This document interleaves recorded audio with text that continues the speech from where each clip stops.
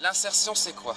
L'insertion, euh, c'est permettre à chacun euh, de participer au débat citoyen, de lui donner un rôle euh, dans la vie politique, dans la vie de la cité. Et pour cela, il faut valoriser sa culture. Il apporte au peuple français au pluriel une richesse, une richesse qui est à mettre en valeur dans le cadre de développement durable. Alors c'est une richesse évidemment sociale, culturelle, mais largement aussi économique.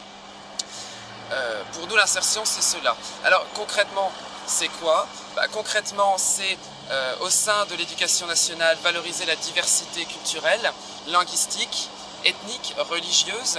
Euh, c'est aussi sensibiliser contre toute forme de discrimination.